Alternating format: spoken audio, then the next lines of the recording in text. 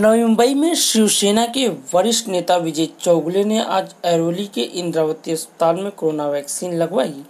बता दें कि अगस्त महीने में विजय चौगुले कोरोना की चपेट में आ गए थे।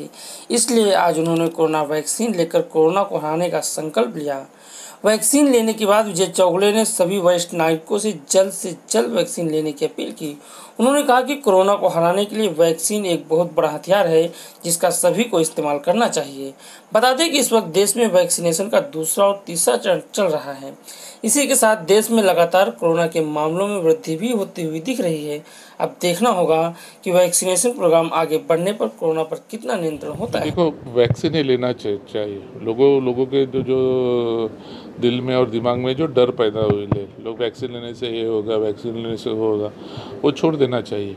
क्योंकि आज भी आप देख रहे हो कि टेन थाउज़ेंड के अभाव दस हज़ार के ऊपर आज भी कोरोना के पेशेंट्स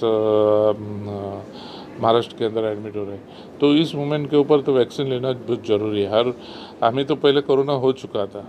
और हमें, इसलिए हम लोग वैक्सीन ले रहे हैं, ऐसी बात नहीं। और कोरोना हो कोरोना होने के बाद में भी कोरोना हो सक कोविड हो सकता है। तो तो इसीलिए वैक्सीन लेना है ज़रूरी है, जिससे वैक्सीन लेने से जो कोविड का प्रादुर्भाव वो रोका जाएगा।